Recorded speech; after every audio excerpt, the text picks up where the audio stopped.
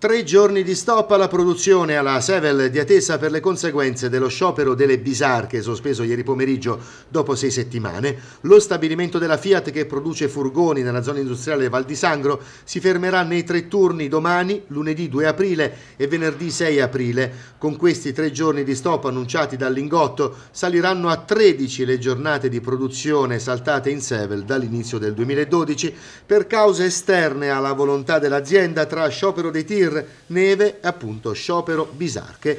In termini di mancata produzione, i 39 turni interessati dallo stop, 3 turni quotidiani per 13 giorni, significano 13.000 furgoni non prodotti. Stando alle stime dell'azienda, infatti, lo stabilimento di Atessa è quello che nella galassia italiana della Fiat produce più pezzi in 24 ore, circa 1.000 furgoni al giorno. Da Torino fanno sapere che non ci sono più spazi nei piazzali della Sevel per stoccare i furgoni prodotti e non caricati bloccati dalle bisarche per lo sciopero. Ieri pomeriggio Trasporto Unito ha deciso di sospendere lo sciopero dopo sei settimane, circostanza che comunque non ha modificato i piani di blocchi alla produzione della Sevel. Per smaltire tutti i furgoni accumulati servirà nel tempo, da qui la necessità di fermare la produzione per tre giorni, ha spiegato il Lingotto. La Sevel si ricorda che è il più grande stabilimento d'Europa per la produzione di veicoli commerciali, impiega direttamente circa 6.200 lavoratori, oltre 10.000 con tutto l'indotto.